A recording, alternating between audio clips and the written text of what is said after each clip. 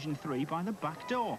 Now they could be on their way out of the front, but sometimes you get the feeling the fans here like nothing better than a good old relegation scrap. Just over 2,500 at Victoria Park saw veteran Noel Blake put Exeter in front, but Poole turned it around with two goals inside a minute. First from local lad Paul Arnison, his first in league football. No wonder his teammates could hardly catch him.